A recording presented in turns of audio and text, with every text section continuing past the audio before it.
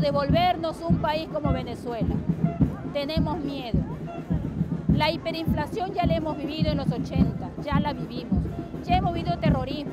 Felizmente somos un pueblo pacífico, pero no tonto. Y este pueblo, como ya la vivió, sabe lo que está pasando.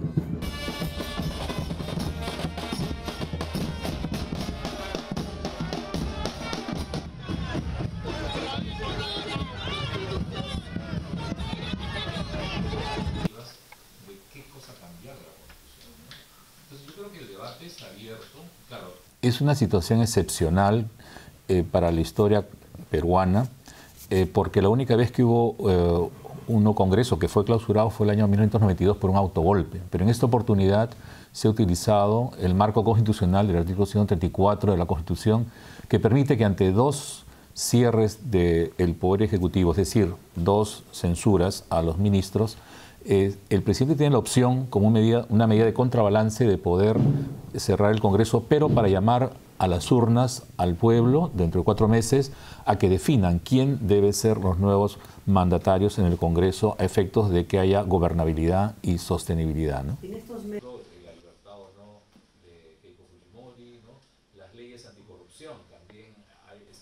Es peligroso que no exista un contrapeso, pero lo cierto es que tenemos un tribunal constitucional, que es un órgano encargado de poder revisar las leyes o decretos legislativos cuando estas son inconstitucionales y tenemos organismos competentes que pueden plantear una demanda de inconstitucionalidad o un conflicto eventualmente de competencia, ¿no? Defensor del pueblo, el presidente del Poder Judicial, ¿no? E incluso los colegios profesionales o 5.000 ciudadanos pueden firmar y presentar una denuncia si es que consideran que un decreto de urgencia viola los derechos o la Constitución.